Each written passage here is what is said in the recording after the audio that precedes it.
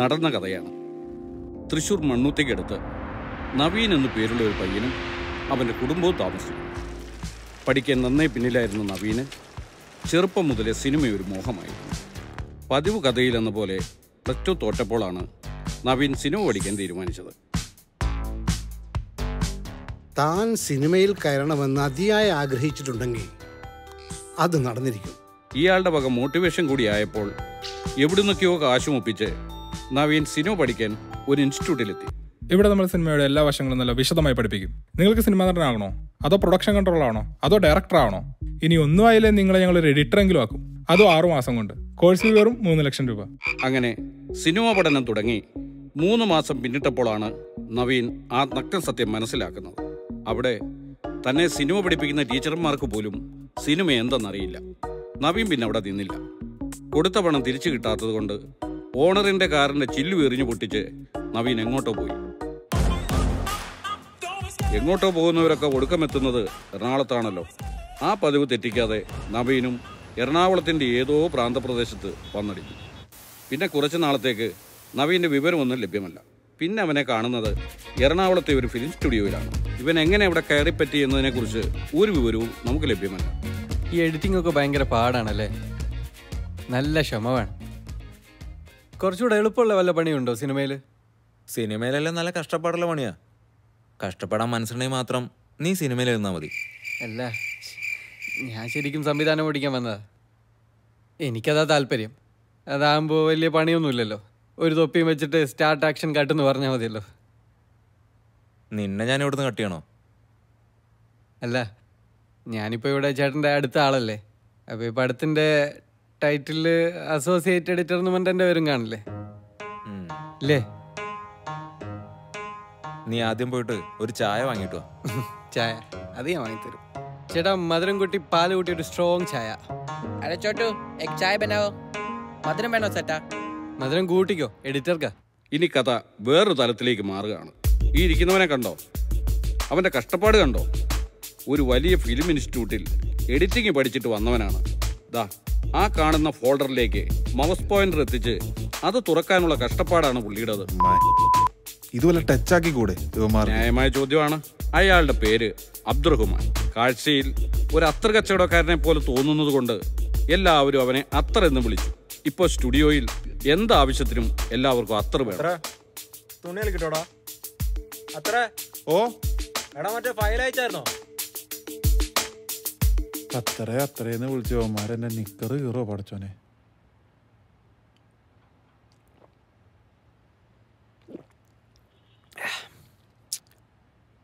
എന്തായി? എഡിറ്റിംഗ് ഒക്കെ പഠിച്ചാ?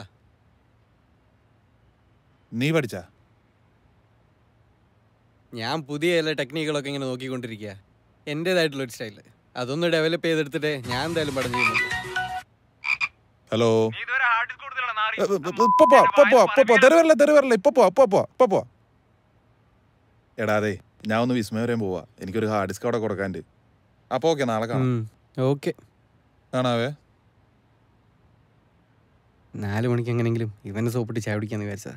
അത് മൂഞ്ചി.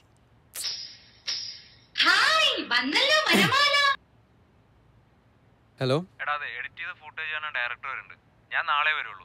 നീ ഒരു കാര്യം ചെയ്യ. ആ ഇമേക്ക് ഓപ്പൺ ചെയ്ത് ഒന്ന് പ്ലേ ചെയ്ത് കാണിച്ചു കൊടുക്കണം. ഞാനോ?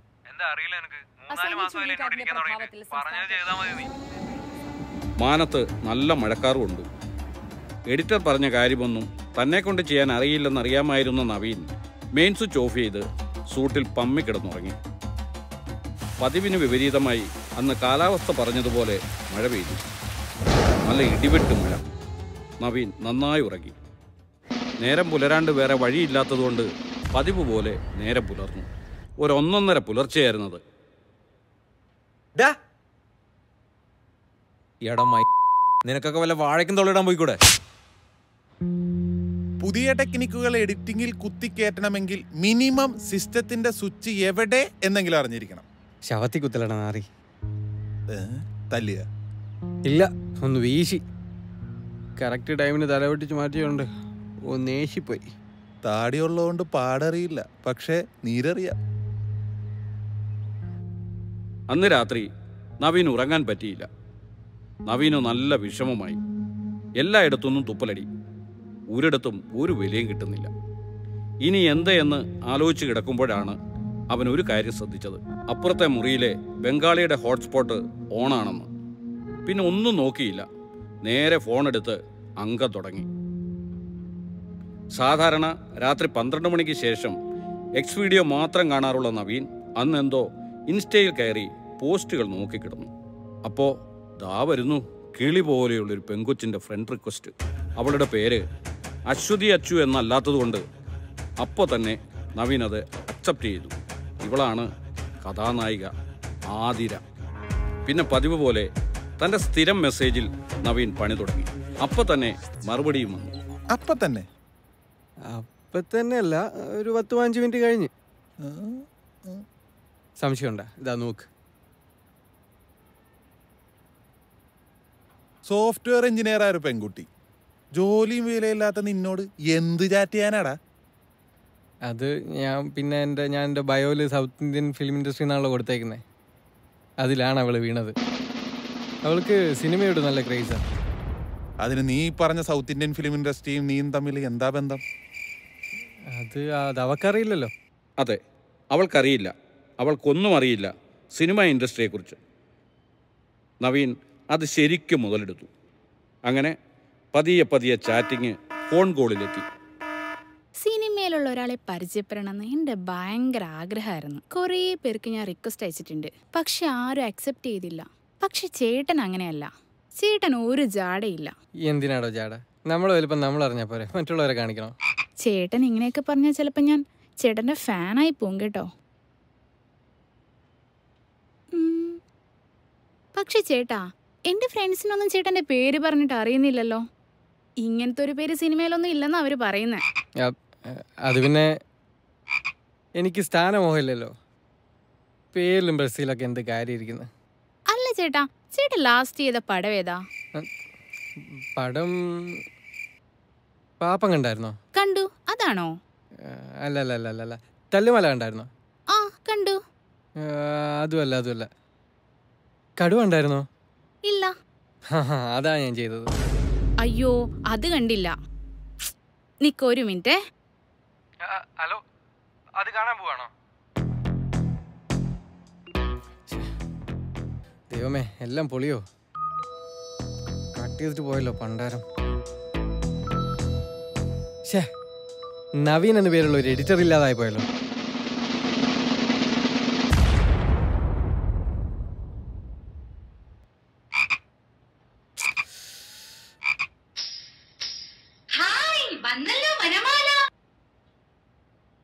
ചേട്ടാ അതിൽ എഡിറ്ററിന്റെ പേരൊരു ഷമീർ മുഹമ്മദ് അല്ലേ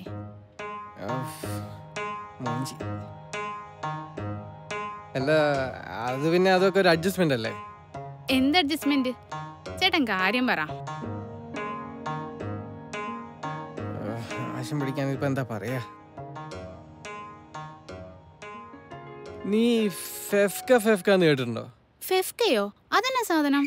അത് ഞങ്ങളുടെ ഒരു സംഘടന ഈ പടത്തിന്റെ എഡിറ്റിംഗ് കഴിഞ്ഞ സമയത്ത് ഞാൻ ഈ സംഘടനയായിട്ടൊന്ന് ഉടക്കി. അയ്യോ അതെന്തിനാ ചേട്ടാ? ഈ മെയിൻ പടങ്ങളൊക്കെ എനിക്ക് വരുന്നതുകൊണ്ട് വേറെ എഡിറ്റർമാർക്കൊന്നും പടമില്ല. അതുകൊണ്ട് ഞാൻ കുറച്ച് നാളൊന്ന് വിട്ടു നിന്നു. ഞാനുണ്ട് അവന്മാർ പറഞ്ഞ കേൾക്കുന്നു പിന്നെ അതൊക്കെ വലിയ വിഷയമൊക്കെ ആയി. പടത്തിന്റെ റിലീസൊക്കെ തടയുമെന്ന് പറഞ്ഞു. ശരിയാ. ആ പടത്തിനെതിരെ എന്തൊക്കെയോ കേസുകളുണ്ടെന്ന് ഞാനും കേട്ടിട്ടുണ്ട്. കേസൊക്കെ കൊടുത്തിട്ട് എന്നെ വരട്ടാൻ നോക്കിയിട്ടൊന്നും നടന്നില്ല. പിന്നെ ഞാൻ ആലോചിച്ചപ്പോൾ ആ പടത്തിന്റെ ഡയറക്ടർ പുള്ളി കുറേ നാളായിട്ട് പടമൊന്നും ഇല്ലാണ്ടിരിക്കുകയാണ്. വലിയ പ്രതീക്ഷകളൊക്കെ ചെയ്ത പടാണ്. വെറുതെ അയാളുടെ കരിയർ ഞാനായിട്ട് എന്തിനാ ഇല്ലാണ്ടാക്കുന്നത്? പിന്നെ അത് മാത്രമല്ല അപ്പോഴാണ് നമ്മുടെ ഷമീർ എന്റെ അടുത്ത് വരുന്നത്. അവൻ ചോദിച്ചു അവന്റെ പേര് ഈ പടത്തിൽ വെച്ചോട്ടെ? പണ്ട് തോളേക്കായിട്ട് നടന്ന ബന്ധാ ഞങ്ങളുടേത് നല്ലൊരു പടത്തിൽ അവന്റെ പേര് വരട്ടെ എന്ന് ഞാനും വിചാരിച്ചു. അങ്ങനെ അവരെ രണ്ടുപേരെയും രക്ഷപ്പെടുത്താനായിട്ട് അവന്റെ പേരിൽ പടം എന്ന് ഞാനും വിചാരിച്ചു. ഷാജി സാറോ ഷമീർക്കായോ ഇതറിഞ്ഞ പിന്നെ മലയാള സിനിമയിൽ നിന്നല്ല മലയാള സിനിമ പറഞ്ഞ തിയേറ്ററിൽ പോലും നിന്നെ കേറ്റൂല. അതൊന്നും അവരറിയാൻ പോകുന്നില്ല. പെണ്ണു വണ്ടി ആയതുകൊണ്ട് ഞാൻ പറഞ്ഞതെല്ലാം വിശ്വസിച്ചിട്ടുണ്ടാവും. അല്ല എന്താ നിന്റെ ഉദ്ദേശം? എന്തുദ്ദേശം? എടാ അവളുടെ അപ്പന്റെ കയ്യിൽ നല്ല പൂത്ത കാശുണ്ട്. അവൾക്ക് നായികയാവണമെന്നൊരു മോഹമുണ്ട്. അവളുടെ സ്വഭാവം വെച്ച് നോക്കുമ്പോൾ അവളുടെ അപ്പനൊരു മന്ദബുദ്ധിയാവാനാ ചാൻസ്.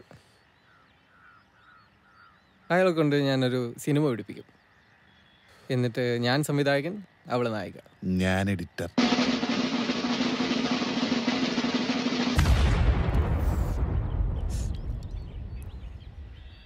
അത്രേ.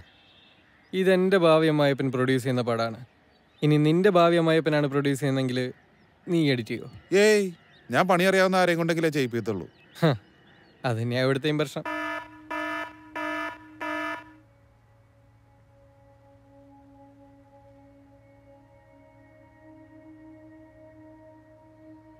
ഹായ്. ഫോട്ടോയിൽ കാണുന്നതിനെക്കാട്ടും കുറച്ചുകൂടെ സുന്ദരിയാണ് നിന്നെ ഇതിൽ കാണാൻ. ചേട്ടനും മോശമൊന്നുമല്ല. ബൈക്ക് ഓടിക്കാറുണ്ടോ? ഫേസിൽ ടാനിങ് ഉണ്ടല്ലോ. ബൈക്കോ? ഹേ കാർ വിട്ടിട്ടുള്ള ഒരു കളിയില്ല. ഏത് കാറ്? എന്റെ വീട്ടിൽ സ്കോഡയാ. എന്റെ വീട്ടിൽ എല്ലാവർക്കും കാറുണ്ട്. അച്ഛന് ബെൻസ് അമ്മയ്ക്ക് മിനി കൂപ്പർ. ചേട്ടന്റെ വണ്ടി ഏതാ? എന്റെ വണ്ടി റോൾസ് റോയ്സ്. റോൾസ് റോയ്സോ? അല്ല നമ്മൾ ഈ കാറിന്റെ കാര്യം പറയാനാണോ വീഡിയോ കോൾ ചെയ്തത്? ഒന്ന് എഴുന്നേറ്റുന്നേ ഞാനൊന്ന് കാണട്ടെ. അയ്യോ അത് എടോ നിക്കടോ. ഇപ്പൊ എന്താ ഇങ്ങനെ? അല്ല പോസ്റ്റർ ട്രെയിലർ ഒക്കെ കാണുമ്പോഴല്ലേ നമുക്ക് ഫുൾ മൂവി കാണാൻ തോന്നുന്നേ? ഫുൾ മൂവി മീൻസ് ഫുള്ളായിട്ട് അയ്യടാ. ഒന്ന് നിക്കടോ. എന്തായാലും ഞാൻ കാണേണ്ടതല്ലേ? പിന്നെ എന്തിനാ മസിൽ പിടുത്തം? ഈ ചേട്ടന്റെ ഒരു കാര്യം. ഇന്നാ കാണ്.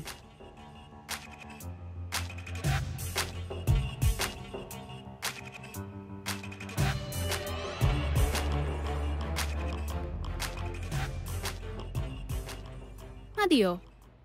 മതി. ഇന്നത്തേനായി എന്താ? അത് ഇനി ഇനിയിപ്പോ ബാക്കി പിന്നെ തന്നെ മതിയല്ലോ.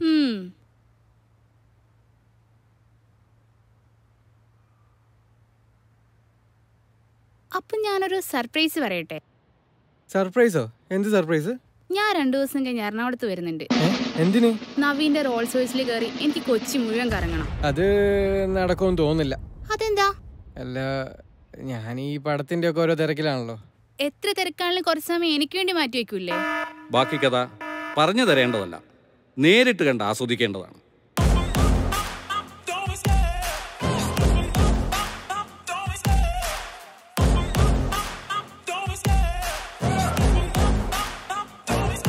I love the chase and the hunt, and I set the pace when I'm running. I always take what I want, and I always give it 100. Don't need a bank, no, I'm funded. Play the game like it's not.